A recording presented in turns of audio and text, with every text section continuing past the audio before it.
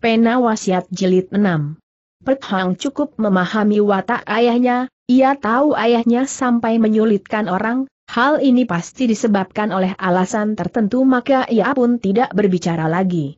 Agaknya Chu Xiao Hang merasa tidak tega juga melihat kesulitan si nona itu, sambil menghela napas dia pun berkata lagi. Nona bila kau benar-benar merasa keberatan, aku tak akan memaksa dirimu.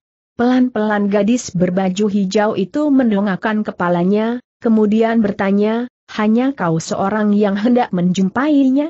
Juga lohu capat per BWM menyambung. Kau juga ingin ikut. Setelah menghela napas panjang, gadis itu berkata lagi. Aku telah menyaksikan semua peristiwa yang kalian alami, memang kejadian itu betul-betul mengenaskan dan memedihkan hati, kalian tentu tak punya waktu lagi untuk mencari lebah-lebah tersebut.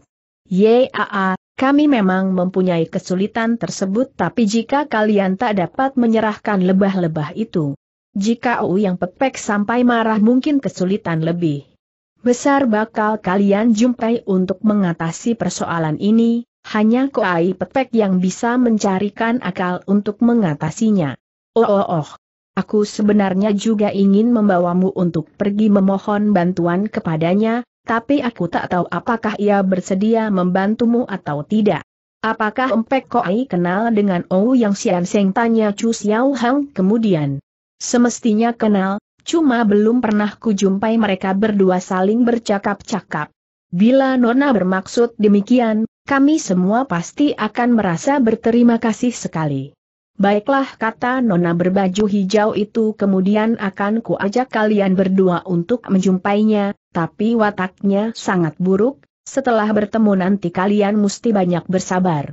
Terima kasih atas petunjuk dari nona PBWM mendehem pelan, lalu berkata, Hang Ji, kini pintu tempat Ling Keng bersemayam telah ditutup, kau tak usah tinggal di sini lagi, ikut saja dengan Yeu Tou Chu kembali ke kota Xiangyang, sedang aku dan Xiao Hang setelah bertemu Jago Lihai itu akan menyusul pula ke kota Xiangyang.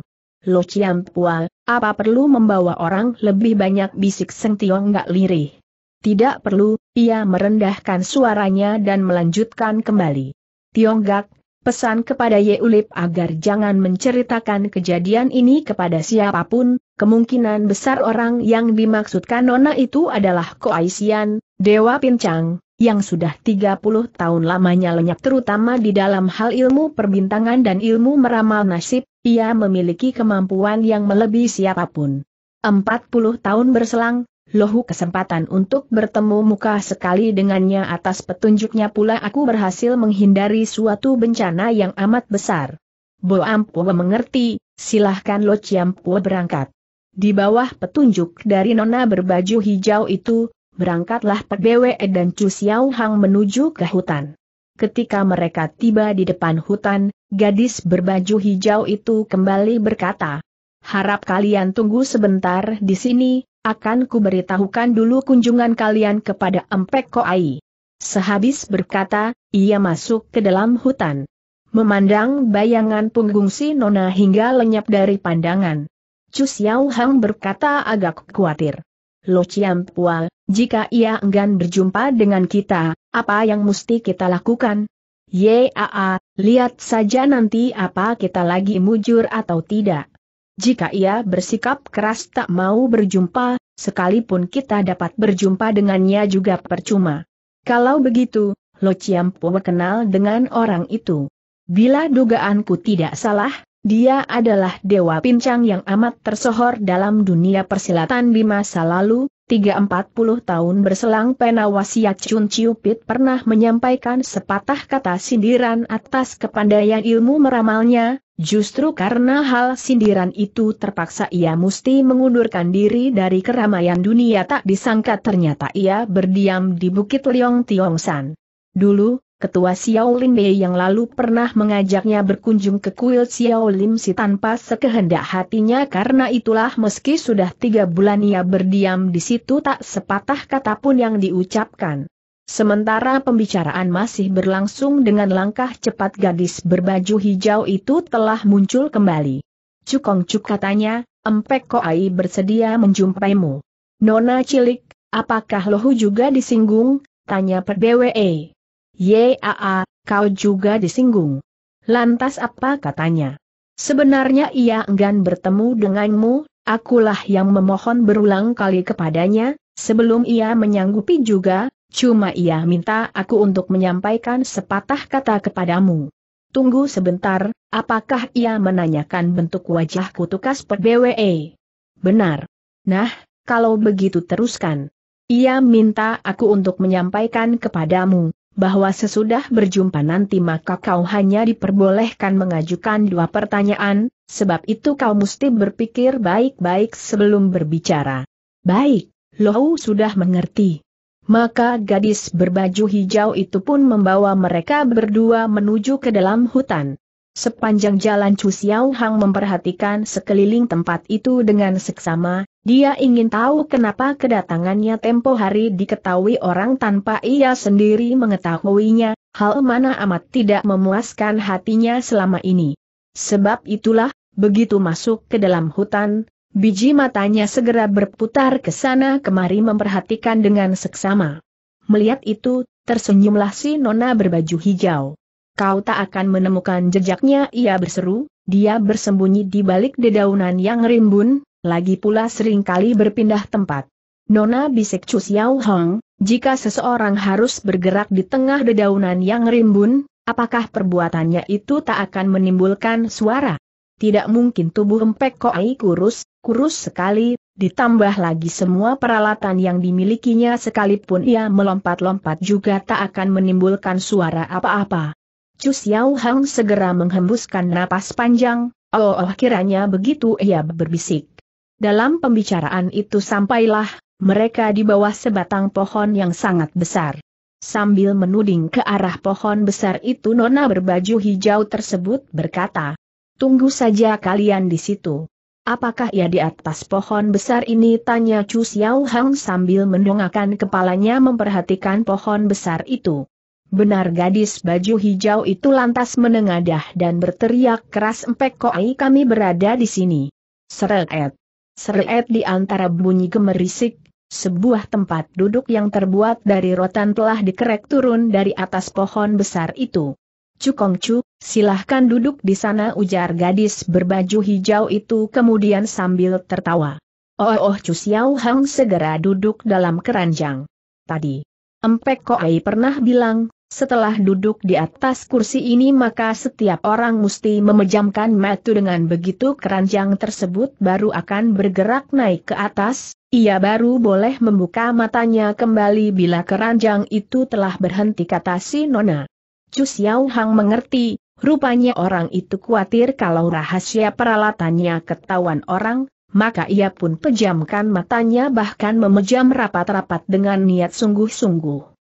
Pelan-pelan keranjang itu mulai bergerak naik ke atas, berputar dan dalam perasaannya ia harus naik turun beberapa waktu lamanya sebelum benar-benar berhenti. Menanti keranjang itu betul-betul berhenti sama sekali, Chu Xiao Hang baru membuka matanya. Ternyata ia telah berada di tengah pepohonan yang berdaun sangat lebat, sedemikian lebatnya sehingga tidak nampak pemandangan apa pun juga. Di depan sana terpentang sebuah jembatan kayu kecil, suara dingin yang nyaring berkumandang dari seberang sana. Jalan kemari. Chu Xiao Hang menyeberangi jembatan kayu di ujung sana ternyata merupakan sebuah rumah kayu kecil. Bangunan rumah kayu itu dibangun di atas dahan-dahan pohon yang besar dan kuat, dalam ruangan tersebut lima buah bangku kayu kecil yang pendek, di atas salah satu bangku pendek itu duduklah seorang kakek coking. Sebuah jubah panjang hampir menutupi sepasang lutut sampai kakinya, tapi wajah dan sepasang lengannya dapat terlihat dengan jelas. Pelan-pelan kakek ceking itu mengelus jenggot panjangnya yang putih, lalu berkata dengan lirih, siapa namamu? Bo Ampu bernama Chu Xiao Hang kau adalah murid Bu Hek Bun? Dari mulut nona berbaju hijau itu, Chu Xiao Hang sudah tahu kalau kakek ini tak suka banyak berbicara, maka jawaban yang ia berikan diusahakan sesingkat mungkin. Benar.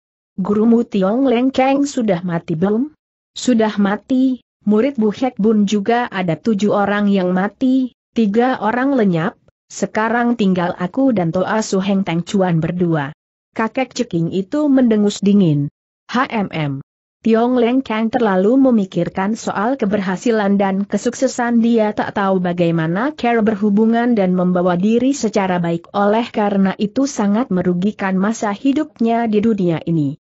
Sekalipun ucapannya tidak sungkan-sungkan tapi nadanya tandas dan meyakinkan. Chu Xiao Hang merasa tak sanggup untuk menjawab, karena itu ia cuma berdiam diri belaka. Bocah kecil apakah kau merasa tidak puas dengan kritik yang lohu lontarkan ini? Tanya kakek ceking itu lagi. Oh, oh tidak Bo Ampu hanya merasa bahwa ucapan Lo Ciampu mengandung arti yang amat mendalam karena itu Bo Ampu tak tahu bagaimana harus menjawab. Kakek ceking itu tertawa.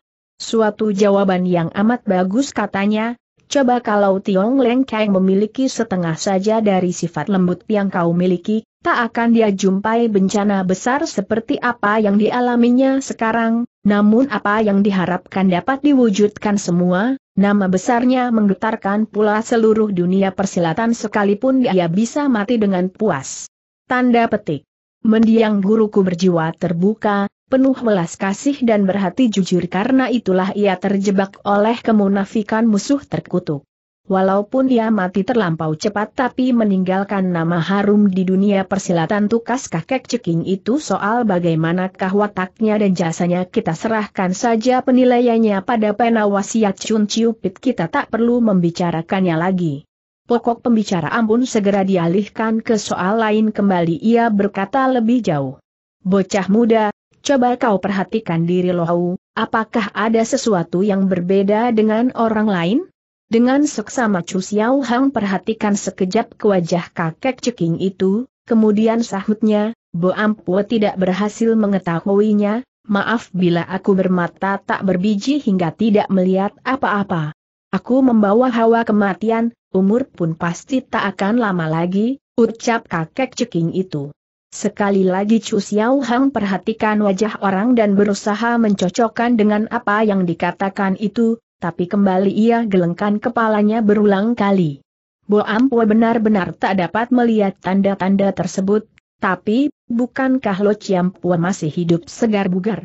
Orang yang hampir mati biasanya akan tampak selapis hawa kematian yang menyelubungi wajahnya, tapi bila setiap orang dapat melihat tanda-tanda tersebut, Lohu tak akan disebut orang sebagai dewa pincang. Jadi kau adalah dewa pincang yang sudah termasyhur sejak 30 tahun berselang itu. Yaa, Lohu memang si dewa pincang Uitong, setelah menghela napas panjang, katanya lebih jauh.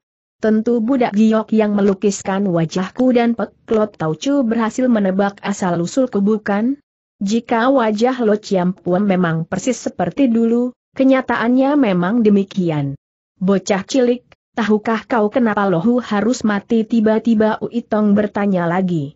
Chu Xiao Hang benar-benar dibikin tertegun oleh pertanyaan tersebut, jika seseorang harus mati dan kematian tersebut ada alasannya dan bisa ditebak duluan, bukankah orang itu bisa mencoba untuk menghindarkan diri dari kematian itu? Hei anak muda, mengapa kau tidak menjawab tegur Uitong kembali? Bo Ampu bodoh sekali dan tak tahu bagaimanakah harus menjawab, sebab bila seseorang dapat mengetahui saat kematiannya, itu berarti dia sudah mengetahui langit, pendapat ini terlampau tinggi bagiku, Bo Ampu merasa tak dapat memahaminya dengan jalan pikiranku. Hahaha, bocah pintar memang patut dipuji, jadi kau percaya kalau takdir itu ada? Sesungguhnya dalam alam semesta yang lebar ini terdapat suatu kekuatan tak berwujud yang mengatur segala sesuatunya, orang bilang siapa berbuat kebaikan dah akan menerima kebaikan siapa berbuat kejahatan dah akan menerima hukuman, itu berarti karma ada pada diri manusia, dus berarti takdir itu pun ada, takdirlah yang akan menentukan garis-garis kehidupan kita selama sepanjang manusia itu hidup di alam semesta. Kekuatan tak berwujud itulah yang mengatur kita dan menentukan takdir dari tiap-tiap insan manusia tersebut. Sementara pembicaraan berlangsung, diam-diam Chu Xiao Hang merasa heran kenapa sampai saat itu PBWE belum juga sampai di situ. Rupanya Uitong dapat menebak suara hatinya, Sambil tertawa ia lantas berkata, Bocah cilik, Lohu telah menggunakan sedikit alat rahasia untuk menunda kedatangannya di sini, bila pembicaraan kita telah selesai nanti, mereka pun akan tiba pula di sini. Tertegun Chu Xiao Hang setelah mendengar jawaban tersebut, segera pikirnya. Tak beres kalau penawasiat Chun Ciupit mengeritik permainannya, yaa permainan alat rahasianya memang aneh, sakti tapi menakutkan sekali. Berpikir sampai di situ, dia pun berkata, Tolong tanya apa yang hendak Lo Ciampu bicarakan dengan diriku, harap segera dijelaskan, dengan senang hati akan Bo perhatikan dengan seksama, cuma jangan mengutarakannya dengan kata-kata rahasia, Bo Ampu tidak akan mengerti. Baik ujar Uitong kemudian, mari kita bicarakan secara terbuka, Ketahuilah bencana yang lohu alami akan terjadi dalam 10 hari mendatang, sekalipun usiaku sudah cukup tua tapi aku masih belum ingin mati, lagi pula sepanjang hidup aku selalu mempelajari rahasia langit, aku berharap dengan mengandalkan kepandaian yang kumiliki ini bencana tersebut bisa kuhindari. Oha! Setelah lohu periksa dari segi rahasia langit, dari segi ilmu meramal dan ilmu perbintangan lainnya, ku ketahui bahwa aku masih mempunyai setitik harapan untuk hidup lebih jauh, tapi membutuhkan bantuan orang untuk meloloskan diri dari bencana itu, secara kebetulan orang yang bisa membantuku itu adalah kau. Ak ah, ah. Masa iya? Kau yang mengerti soal ilmu perbintangan dan ilmu meramal pun tak dapat menolong dirimu sendiri, apa yang bisa kuberikan untukmu? Uitong menghela napas panjang. Aaai. Selama 30 tahun lebih aku menyembunyikan diri untuk menyelamatkan diri, menggunakan kesempatan tersebut aku banyak mencari obat penolong orang dengan maksud memelihara masa kehidupanku. Tentu saja jika kau bersedia membantu sekarang, Lohu tak akan menerima bantuanmu dengan begitu saja, suatu balas jasa pasti akan kuperuntukkan bagimu. Jika Bo Ampu dapat membantu, tanpa balas jasa pun Bo Ampu bersedia membantu diri Ciampu. Pertama kau harus bersedia tinggal selama sepuluh hari di sini, dalam sepuluh hari tersebut, segala sesuatunya kau harus menuruti apa yang Loho pesankan. Chu Xiao Hang termenung dan berpikir sebentar, kemudian sahutnya, baik, Bo Ampu bersedia, apakah masih ada pesan lain? Seandainya aku tak mampu melawan takdir dan akhirnya meninggal, maka kau pun harus menuruti pesan terakhirku untuk menyelesaikan segala persoalan terakhirku. Baik. Bo Ampua turut perintah. Uitong segera tertawa, tiba-tiba ia menggerakkan seutas rotan yang berada di samping bangkunya. Bergeraklah tali rotan itu ke atas dengan membawa Pek yang sedang duduk di keranjang tersebut. Pek BWE ternyata mengingat baik-baik pesan dari gadis berbaju hijau tersebut, Setibanya dalam ruangan ia tak berbicara ataupun menyapa. Uitong memandang pelan, kemudian ujarnya lebih dulu. Apakah budak itu berada di bawah sambil memasang mata? Apa yang hendak kalian katakan? Sekarang boleh kalian utarakan. Pek, BWM manggut-manggut, tapi ia belum mau juga bersuara. Pek, Ciampu kata Chu Hang kemudian, Ui Ciampu minta kepadaku untuk berdiam selama 10 hari di sini untuk membantunya guna menyelesaikan sedikit persoalan, entah boleh tidak. Pek Bue mengalihkan sinar matanya ke wajah Chu Xiao Hong, kemudian tertawa dan tetap tidak berbicara. Melihat itu dengan kening berkerut Chu Xiao Hong segera bertanya. Lo Ciampua, apakah kau menyetujuinya Pek Bue masih juga tidak menjawab, tapi sinar matanya dialihkan kembali ke wajah Uitong.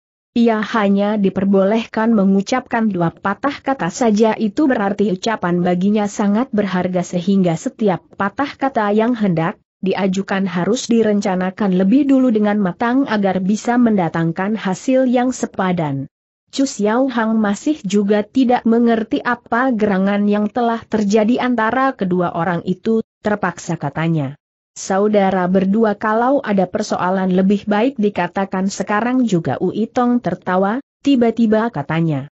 Pek Bue, kuijankan kepadamu untuk berbicara dua patah kata lebih banyak lagi, Nah sekarang kau mulutmu untuk terbicara. Pek Bue menghembuskan napas panjang ia segera bertanya. Kau sudah tahu kalau Tiong Leng Kang bakal mati Aku telah melihat hawa kematian di atas wajahnya. Kenapa tidak kau tolong dirinya? Sebab itu sudah kehendak takdir, apakah kau menginginkan aku berbuat melawan takdir Pak Bue menghela napas panjang. Aaai. Aku sudah menembusi soal memati hidupku sendiri maka aku pun tak ingin menanyakan soal rejeki atau bencana bagi diriku lagi, aku hanya ingin bertanya kepadamu bagaimanakah nama baik Tiong Lengkeng. Pantaskah, kalau menerima pertolonganmu? Menurut perhitunganku, dengan kesaktian yang dimilikinya Tiong Lengkeng sekarang, mana mungkin ia mau percaya dengan perkataanku? Sekalipun kubocorkan rahasia langit, apa pula manfaatnya? Oh, oh, kiranya begitu.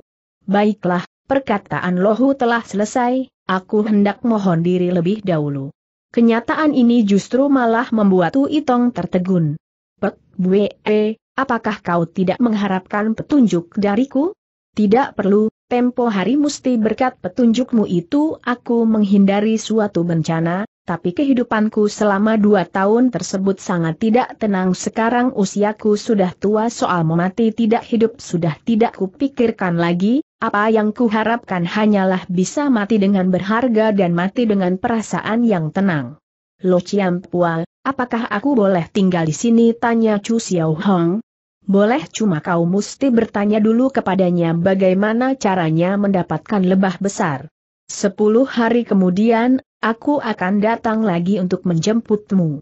Dengan termangu-mangu Itong memperhatikan luar pintu tanpa berkedip, sikapnya amat serius dan untuk sesaat lamanya tidak mengucapkan sepatah kata pun. Lo Chiam Chu Xiao Hang segera berkata, pesan apa yang hendak kau sampaikan kepadaku? Katakanlah, cuma aku. Tanda petik kau punya sedikit syarat dan berharap aku mau menggantikan lebah-lebah beracun milik Oh yang si makhluk tua itu sambung Uitong. Benar. Inilah yang dijanjikan mendiang guruku, sekarang suhu telah mati maka kami sebagai muridnya berkewajiban untuk melanjutkan janjinya itu. Uitong manggut-manggut. Aku bisa membantumu dengan sekuat tenaga untuk menyelesaikan persoalan ini katanya. Baik. Sekarang urusanku telah selesai, jika Lo Ciampu mengharapkan bantuanku, silahkan kau ucapkan. Dari dalam sakunya Uitong mengeluarkan tiga buah kantong sutera, kemudian sambil diangsurkan katanya. Di atas kantong-kantong ini sudah tercantumkan nomor, terhitung mulai hari ini, lohor hari ketiga kau harus membuka kantong pertama, hari kelima kau buka kantong kedua dan hari ketujuh kau buka kantong ketiga lakukanlah seperti apa yang telah kutulis, dalam kantong-kantong tersebut. Bo Ampua telah mengingat semua pesan Ciampu sahut Chu Xiao Hang sambil menerima kantong-kantong, itu, tapi bagaimana pula caraku untuk memenuhi janji guruku dengan Ou Yang Sian Seng? Harap Lo Ciampu suka pula memberi petunjuk. Uitong manggut-manggut, kembali, ia mengeluarkan sebuah botol porselen dari sakunya, lalu berkata, Pergilah dan serahkan botol ini kepada Ouyang Sian Seng, maka dia pun tak akan menanyakan lagi soal lebah beracun itu. Itulah sebuah botol porselen putih, setelah menerimanya dan dibuat main sebentar, Chu Xiao Hang bertanya lagi. Lo Chiam apa isi botol ini obat? Bolehkah Bo Ampu membuka botol ini untuk melihat isinya? Boleh saja, bukalah sendiri. Ketika Chu Xiao Hang membuka botol itu dan melongo isinya, terlihatlah isi botol porselen itu ternyata adalah setengah botol bubuk berwarna putih. Cuma saja botol itu besarnya seibu jari, sehingga isi obat pun amat terbatas. Nak, kau tak usah khawatir kata Uitong obat tersebut sudah cukup untuk memuaskan hatinya, Cuma makhluk tua Ou yang pun seorang yang kikir maka kau harus baik-baik mengetuknya. Mengetuknya bagaimana? Dia memiliki sejenis ilmu sakti yang disebut Chiat Lip Jiu, tangan sakti penerus tenaga, itu terhitung suatu kepandaian yang sangat tinggi, juga merupakan ilmu kebanggaan makhluk tua Xiao yang selama malang melintang dalam dunia persilatan maka sebelum kau serahkan obat ini kepadanya, kau harus memaksanya untuk mewariskan kepandaian tersebut kepadamu. Chu Xiao Hang segera tertawa getir. Ui Pua, kalau memang kepandaian tersebut merupakan ilmu simpanannya, masa dia mau mewariskannya kepadaku? Dengan obat tersebut sebagai syarat pertukarannya, dia pasti akan penuhi keinginanmu itu. Tapi kalau Bu Ampu disuruh memeras orang dikala orang lagi membutuhkan, rasanya. Rasanya aku enggan untuk mengatakannya. Nak, sekalipun enggan kau juga mesti mengatakannya. Tanda petik. Kenapa? Selacu Xiao Hong, Sebab ilmu Ciat Lip Jiu tersebut akan sangat membantu bagi usahamu untuk membalas dendam serta membangun kembali Bu Hek Bun di kemudian hari, kau mesti mengerti, tidak besar kesempatan Ou yang Loko Ai untuk muncul kembali dalam dunia persilatan, sekalipun secara kebetulan akan munculkan diri sekali dua kali, dengan cepat dia pun akan mengasingkan diri kembali, maka jika ilmu tersebut tidak kau pelajari, kemungkinan besar ilmu sakti Ciat Lip Jiu tersebut akan segera lenyap dari muka bumi. Apakah dia tak punya murid? Xiao Hang ilmu sakti semacam itu bukan sembarangan orang bisa mempelajarinya, sekalipun dia punya seorang putra, sayang bukan bahan baik untuk belajar silat. Chu Xiao Hang termenung sebentar, lalu katanya. Bila ilmu tersebut ku pelajari bukan demi kepentingan Bo Ampu pribadi Bo Ampu si bersedia untuk mencobanya, tapi jika Ouyang Ciampu tidak mengabulkan permintaanku itu, makanya ku suruh kau gunakan sedikit akal, katakan saja kalau hal ini merupakan syarat dari suhumu jika ia menghendaki isi obat dalam botol itu maka dia harus mewariskan ilmu sakti Ciat Lip Jiu tersebut kepadamu. Chu Xiao Hang berpikir sejenak, kemudian sahutnya, kalau begitu biar Bo Ampun mencobanya.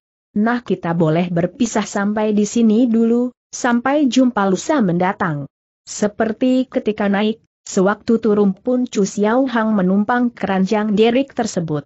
Ketika ia membuka matanya kembali, keranjang itu sudah tiba di bawah pohon, si nona berbaju hijau itu masih menunggu di situ. Chu Kong Chu, nona berbaju hijau itu segera bertanya, apa yang dibicarakan Empek Koai denganmu?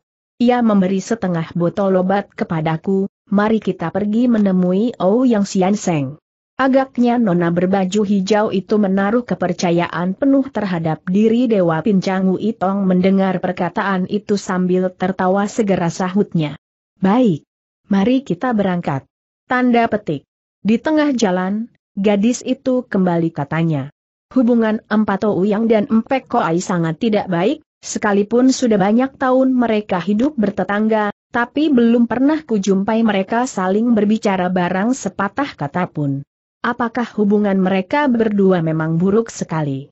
Bukan cuma buruk sekali, Empek Ou yang sangat jemu atas diri, Empek Koai Sering kali ia memakinya sebagai manusia yang pandai mempermainkan rahasia langit tanpa memperdulikan mati hidup orang lain? Oh oh oh. Konon Empek Ou yang pernah cocok dengan Empek Koi kata nona berbaju hijau itu lebih jauh. Cuma aku tidak menyaksikan sendiri jalannya peristiwa itu. Chu Xiao Hang menghela papas panjang, katanya, Apakah Ou yang Lo Ciampu mempunyai murid Empek Ou yang mempunyai seorang teman yang sedang sakit, orang itu mengidap suatu penyakit yang aneh sekali.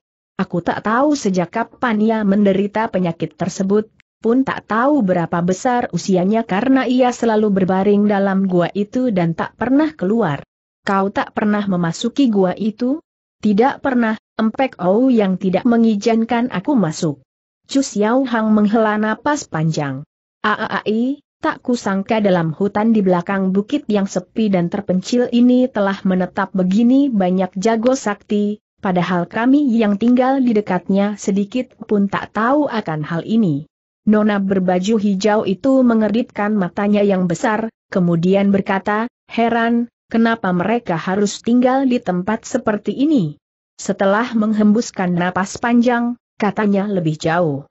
Chu Kong Chu, menurut apa yang ku ketahui di sini kecuali tinggal Empek Koi dan Empek Oyang, masih ada seorang lagi, sayang aku tidak kenal dengan dirinya, sehingga tidak ku ketahui pula siapa namanya dan berasal dari mana. Nona siapa namamu, kenapa bisa tinggal di tempat seperti ini? Nona berbaju hijau itu tertawa. Kalau berbicara sesungguhnya, aku sendiri pun tak tahu siapa namaku sendiri aku lebih hanya seorang manusia bernasib jelek yang dipelihara orang lain. Oh kalau begitu Nona tinggal bersama siapa dengan ibu angkatku? Siapa nama ibu angkatmu? Sekarang ia berada di mana? Ibu angkatku sudah mati pada tiga tahun berselang, ia dikebumikan di belakang bukit sana dan meninggal sebuah rumah gubuk untukku. Oh Pemuda itu merasa bahwa asal-usul gadis ini amat mengenaskan, sebenarnya dia ingin mengucapkan beberapa patah kata untuk menghibur hatinya, tapi dia pun tak tahu harus berbicara dari mana. Nona berjubah hijau itu melirik sekejap ke arah Chu Xiao Hong, kemudian berkata lagi. Setelah ibu angkatku meninggal dunia, aku hidup seorang diri dalam rumah gubuk itu, Empek Koai, Empek Ou yang walaupun saling tidak akur, tapi mereka amat memperhatikan keadaanku. Apakah kau pandai bersilat pandai sih tidak? Hanya bisa. Siapa yang mewariskan ilmu silat kepadamu? Waktu masih hidup dulu, ibu angkatku yang menurunkan ilmu silat kepadaku, Empek Ou yang juga sering memberi petunjuk kepadaku, sedangkan Empek Koi kadang kala juga menurunkan satu dua jurus kepadaku bila kebetulan ia sedang bersenang hati. Kalau begitu ilmu silat yang Nona miliki tentu lihai sekali?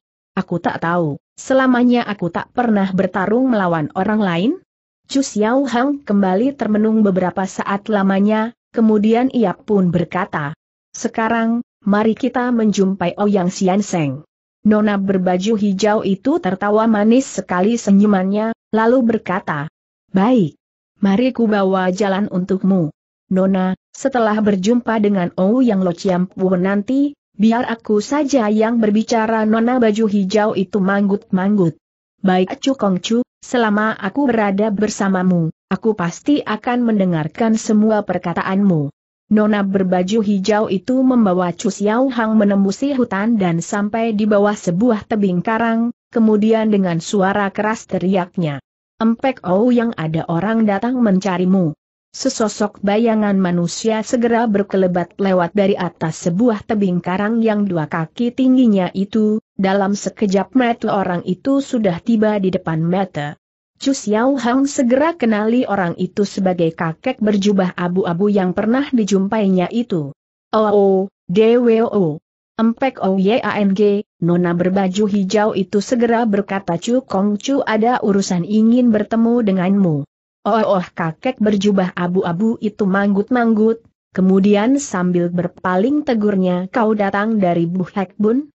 Betul, Cai He datang untuk mewakili guruku kenapa gurumu tidak datang sendiri? Sebab gurunya sudah mati serusi nona berbaju hijau dari samping. Mendengar jawaban tersebut, kakek berbaju abu-abu itu menjadi tertegun lalu tanyanya, kapan matinya? Dua hari berselang sahut Chu Xiao Hong. Apakah anggota perguruan Bu Hek Bun tinggal kau seorang?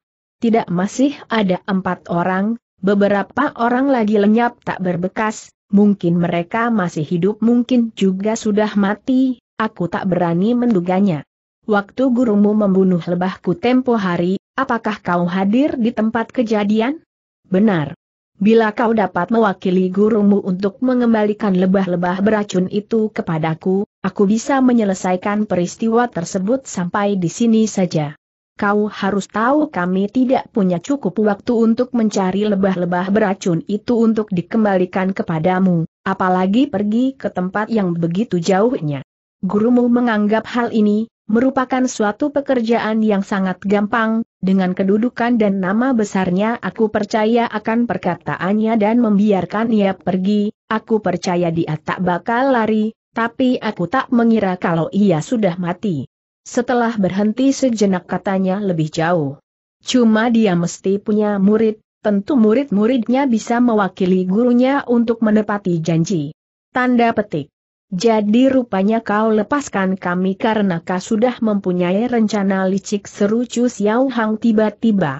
Anak muda, kata rencana licik kurang sedap didengar, apakah kau anggap lohu tak sanggup membunuh kalian pada waktu itu? Chu Xiao Hang segera menghela napas panjang. Aaai. Aku baru pertama kali ini terjun ke dalam dunia persilatan, Sungguh tak kusangka kesan yang ku dapat tentang dunia persilatan begitu berbahaya dan memuakan. Dunia persilatan pada hakikatnya memang tempat yang berbahaya dengan segala macam akal busuknya, bocah, kau telah datang mewakili gurumu, pertanggungan jawab apakah yang hendak kau berikan kepadaku?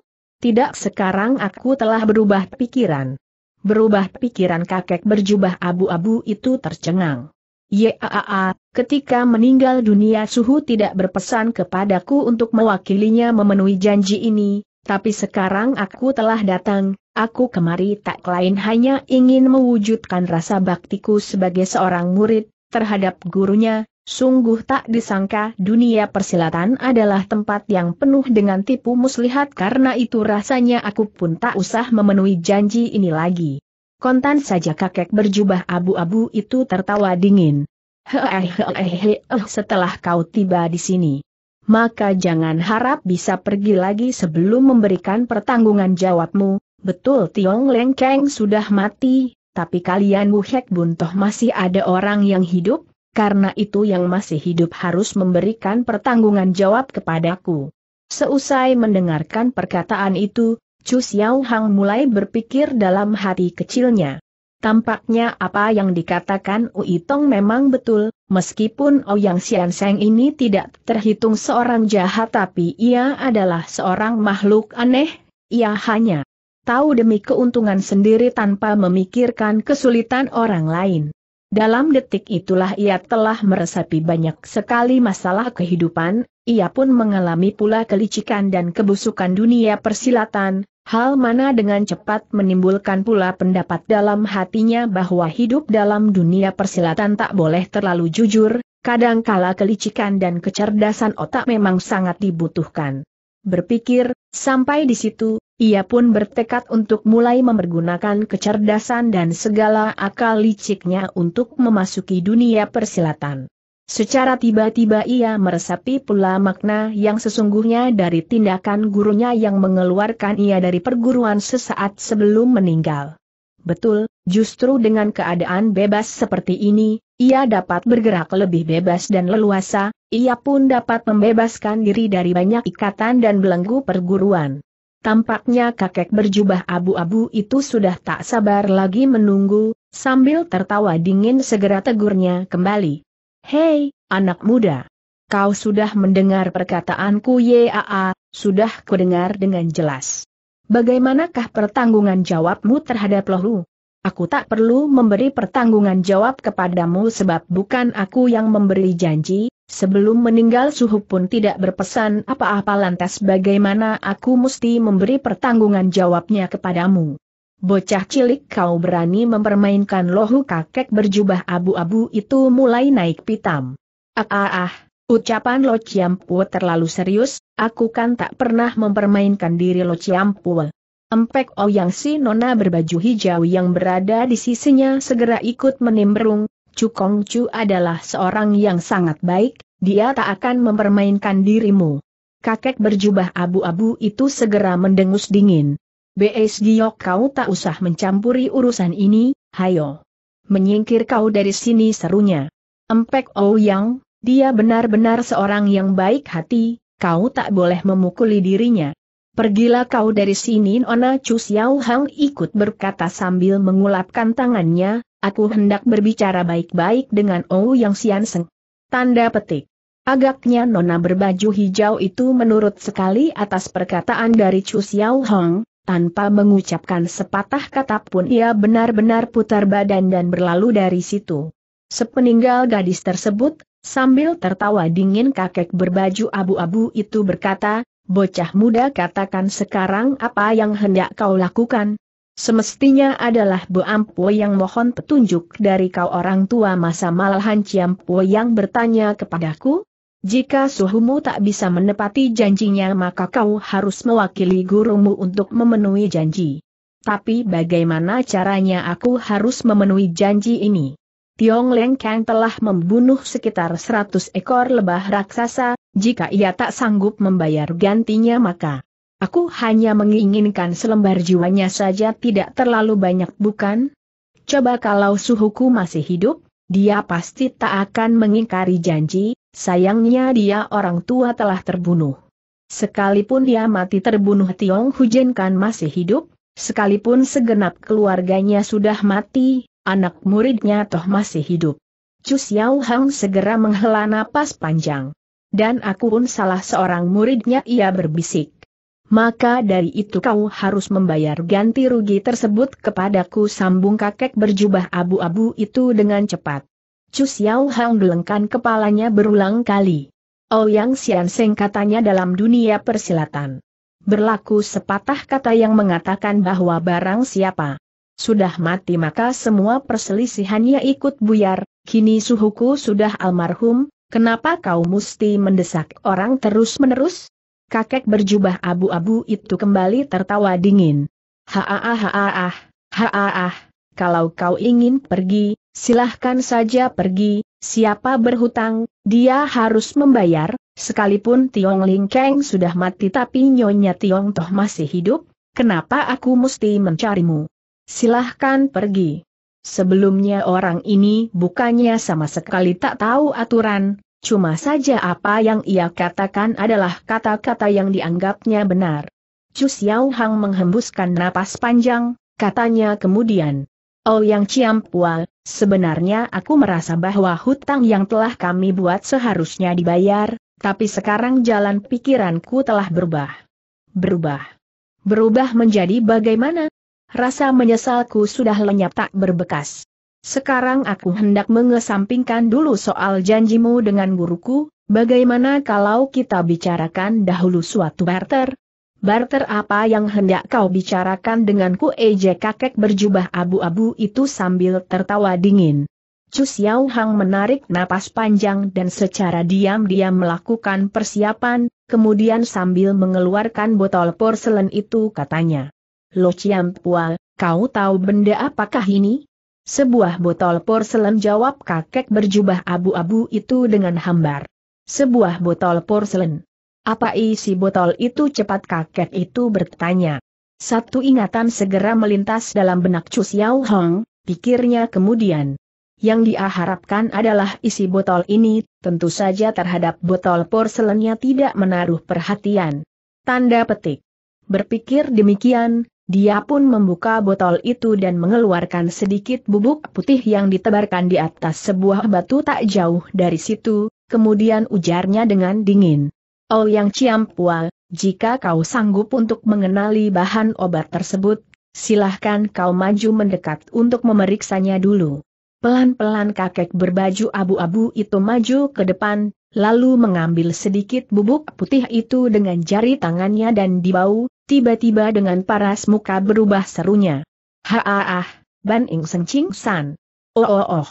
Rupanya obat ini bernama bubuk Ban Ing Seng Ching San pikir Chu Xiao Hong. Segera ia berkata. Betul memang obat tersebut. Apakah Lo Chiam Pue kenali juga obat ini? Tiba-tiba kakek berjubah abu-abu itu memutar tubuhnya sambil menubruk ke depan, tangan kanannya berkelebat siap menyambar botol yang berada di tangan pemuda itu. Dengan cekatan Chu Xiao Hang mundur sejauh lima depa dari posisi semula, kemudian katanya dengan dingin. Dengarkan baik-baik, kalau kau berniat merampas botol ini, sekarang juga kuhancurkan botol ini agar bubuk itu tersebar di tanah. Kakek berbaju abu-tabu itu menjadi tertegun, akhirnya ia bertanya, apa-apa syarat yang hendak kau ajukan? Semua perjanjian dan perselisihan antara Bu Hek Bun dengan Ou Yang Xian Seng hapus sampai di sini saja. Oh oh oh, oh tentu saja sambil menjawab kakak itu maju ke depan dan siap menyambar botol porselen tersebut. Chu Xiao Hang segera melompat mundur selangkah, lalu teriaknya kembali. Kedua. Tanda petik. Cepat katakan. Konon kau memiliki semacam ilmu silat. Ilmu silat yang kumiliki banyak sekali ragamnya tukas kakek itu. Aku hanya menghendaki satu macam saja ilmu silat apa yang hendak kau pelajari ilmu Ciat Lip Jiu. Kakek berbaju abu-abu itu menjadi tertegun. Ciat Lip Jiu? Dari mana kau bisa tahu kalau Lohu memiliki semacam ilmu yang bernama ilmu Ciat Lip Jiu? Soal itu sih tak perlu kita bicarakan, aku hanya ingin bertanya kepadamu, betulkah kau memiliki ilmu yang bernama Ciat Lip Jiu? Betul. Kepandaian tersebut merupakan ilmu sakti andalanku di saat masih berkelana dalam dunia persilatan dulu, tiada orang lain yang bisa ilmu tersebut kecuali aku. Bagus sekali, cuma aku mesti terangkan dulu, aku ingin pelajari ilmu Ciat Lip Jiu tersebut sebagai pertukaran syarat bagimu untuk memperoleh obat ini, itu berarti tiada ikatan apa-apa antara kita lagi pula aku pun tak akan berterima kasih kepadamu. Ujung baju kakek berbaju abu-abu itu bergetar keras meski tidak terhembus angin, dengan wajah amat serius katanya. Baik. Lohu akan mewariskan ilmu Ciat Lip Jiu tersebut kepadamu, cuma dengan usiamu yang begitu muda serta kesempurnaan tenaga dalam yang kau miliki, aku khawatir ilmu tersebut tak mungkin bisa kau mempelajari dalam waktu singkat, maka sebelum kau pelajari kepandaian tersebut, lebih baik kau serahkan dulu bubuk obat itu kepadaku. Kau bisa bertahan untuk hidup sekian lama dengan menanggung derita, rasanya tak sulit bukan untuk merasakan penderitaan satu dua hari lagi. Soal kemampuan tenaga dalam yang kumiliki, harap Ciampu jangan risaukan, yang ingin ku pelajari hanya rahasia dari ilmu Ciat Lip Jiu tersebut bukan tenaga dalamnya, mungkin saja setelah ku kuasai ilmumu itu kepandaian tersebut baru akan kugunakan dua tiga tahun mendatang. Tiba-tiba kakek berbaju abu-abu itu tertawa tergelak. Bocah cilik, beberapa patah katamu ini memang masuk. Dia kal juga, ilmu Ciat Lip Jiu memang bukan semacam ilmu silat yang dapat dipelajari hanya mengandalkan kecerdasan otak saja, aku mengetahui kalau kau berbakat bagus untuk belajar silat, mungkin hanya kaulah satu-satunya orang di dunia ini yang bakal mewarisi ilmu Ciat Lip Jiu andalanku itu. Tanda petik. Chu Xiao Hang menghembuskan napas panjang, bisiknya, Lo Chiampul. Kakek berbaju abu-abu itu gelengkan kepalanya berulang kali, katanya kembali.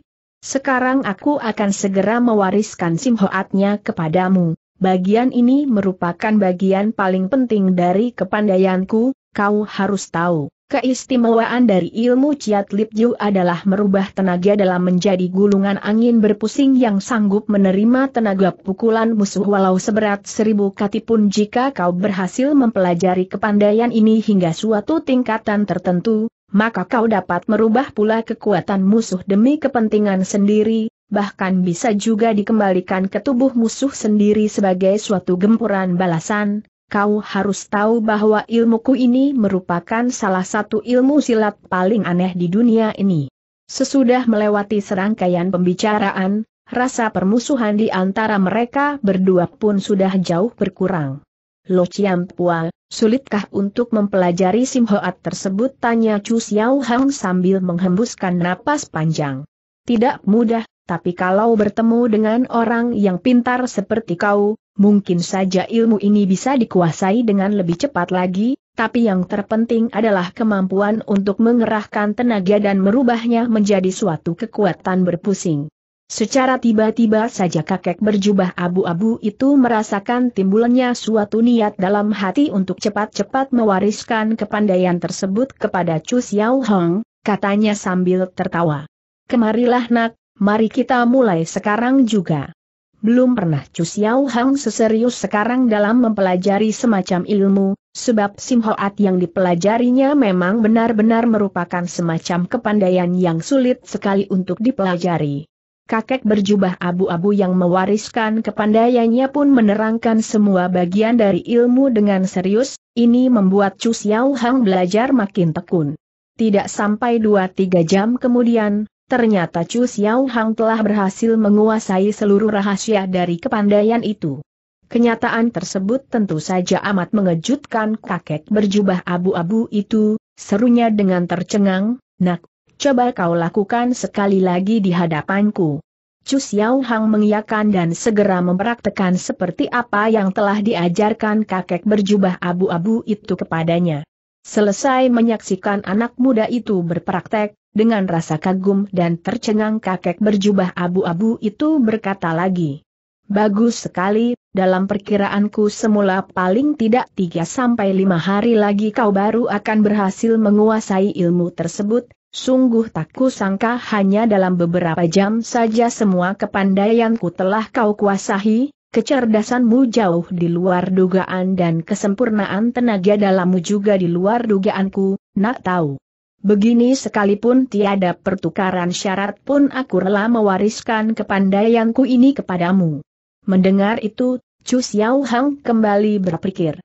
Watak orang ini sesungguhnya tidak jahat cuma wataknya memang sedikit rada aneh dan nyentrik sambil bangkit berdiri, botol porselen itu diserahkan kepada kakek itu seraya berkata, Lo Ciampua, baik-baiklah menjaga diri, Bo Ampua hendak mohon diri lebih dahulu. Kakek berbaju abu-abu itu menghela napas sedih, katanya. Hati-hati dengan si pincang, ia memiliki kepandaian yang hebat dan ilmu perbintangan yang luar biasa, sayang hatinya terlalu jahat. Chu Xiao Hang merasakan hatinya bergetar keras, sambil berhenti katanya, maksud lo Ciampul. Tanda petik.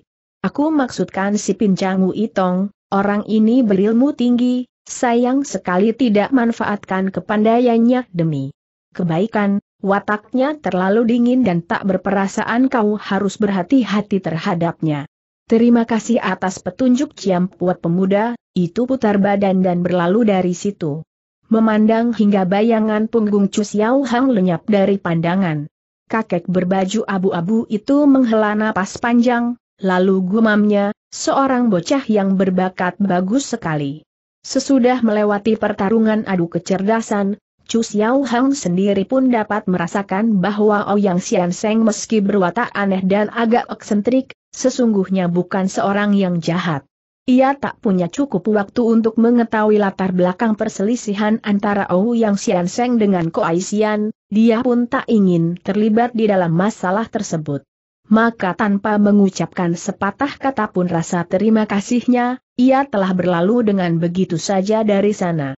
Chu Xiao Hang juga, tidak langsung menjumpai Ui Tong, ia mencari suatu tempat yang sepi dan terpencil dalam hutan itu serta mulai melatih diri dengan ilmu Ciat Lip Jiu yang baru saja dipelajarinya itu.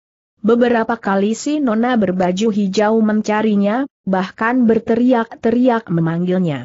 Tapi Chu Xiao Hang sadar bahwa waktu baginya saat ini adalah penting sekali, dia harus menggunakan waktu selama sehari semalam untuk berhasil menguasai ilmu Ciat Lip Jiu tersebut secara baik. Karenanya ia tidak menjawab, ia pura-pura tidak mendengar dan melanjutkan semedinya sambil mengatur pernapasan. Betul juga ketika ia berlatih menurut apa yang diajarkan Ouyang Xian Seng, segera terasalah segulung hawa murni muncul dari pusar dan bergerak dalam tubuhnya sehingga membuat hawa murni dalam tubuh berputar kencang, akhirnya timbul dua kekuatan berbeda yang saling berputar dengan kencangnya di badan. Kenyataan ini sangat mengejutkan hatinya, di samping tentu saja rasa girang yang meluap-luap. Sekarang ia telah membuktikan satu hal, Ouyang Xian Seng memang tidak membohonginya. Menanti saat perjanjiannya dengan Ui Tong telah sampai, dia baru keluar dari dalam hutan. Keranjang tersebut sudah menanti di bawah pohon, Chu Xiao Hang segera menggerakkan sendiri alat rahasia untuk menaikkan keranjang tersebut ke atas, tentu saja kesemuanya ini diajarkan sendiri oleh Tong kepadanya. Keranjang mulai meluncur di antara sela-sela pepohonan yang rindang dan menembusi dahan-dahan pohon yang besar langsung menuju ke depan ruangan kecil itu. Ketika ia tiba dalam ruangan, ditemukan Dewa Pincang Itong sudah menggeletak di atas lantai papan dengan sepasang mata terpejam rapat. Chu Xiao Hang merasa terkejut sekali pikirnya. Apakah takdir benar-benar tak bisa dilawan dan ia telah menyelesaikan sendiri perjalanan hidupnya? Buru-buru pemuda itu maju ke depan sambil memeriksa dengusan napas Uitong, ternyata napas itu sudah putus. Walaupun demikian, perasaan Chu Xiao Hang berkata bahwa Uitong belum mati. Dalam detik itulah, Chu Xiao Hang menjadi ragu tak bisa memastikan apakah Dewa Pincang Uitong masih hidup atau sesungguhnya telah mati.